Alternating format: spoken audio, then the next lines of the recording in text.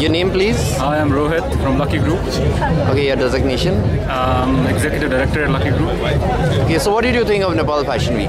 I think it's pretty cool. Like, you know, we have a lot of fashion shows here in Nepal, in Kathmandu especially, but uh, this is a high quality fashion event wherein we have uh, like students who are showcasing their designs, but it doesn't look like with the models and with the kind of polishness that they do in the choreography and the whole event, the way it is organized.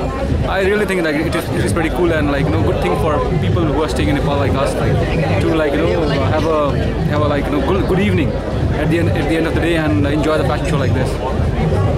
Uh, if your kids wanted to become a model or fashion designer in Nepal, would you encourage them? Definitely, I would definitely encourage them. I would never bind them from not doing anything particular, but uh, because modeling industry, like if you take it well, if you are creative, if you have the potential, I would definitely encourage them. Never, never. So, uh, do you think there is any room for improvement for Nepal Fashion Week? I think so uh, because, like you know, um, because uh, Nepal Fashion Week have been like showcase, have been tied up with IEC and showcasing like students.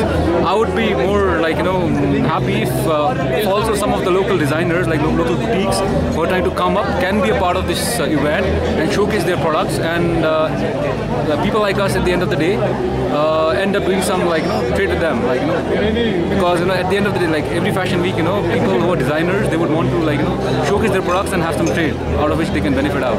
So I, I think something like that uh, should also happen so that like you know, the whole fashion industry can grow in Nepal, like it is doing in other places.